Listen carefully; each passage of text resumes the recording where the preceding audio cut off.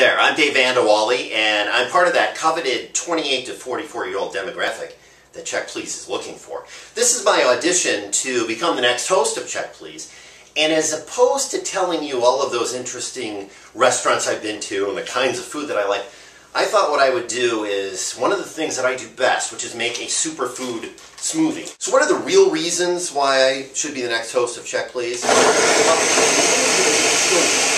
I love dogs.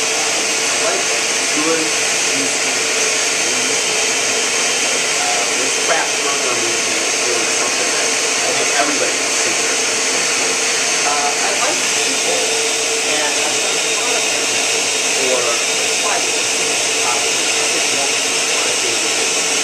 And,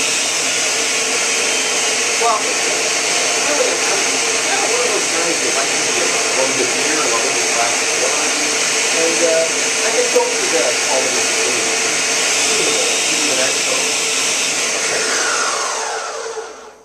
So, in summary, you should hire me for the job, and we should taste this superfood smoothie together with a fresh spoon and all of the uh, blueberry, cranberry, pomegranate, flaxseed. Wow, that's that's actually pretty darn good. Again, I'm Dave Van de Walle, and I am uh, auditioning to be the next host of Check Please. I hope you'll, um, well, at least get your your vitamins and your your veggies and your fruits and your flaxseed. So even if you don't hire me for this gig, which you should, you'll at least feel healthy and renewed and have more energy, more vim and vigor.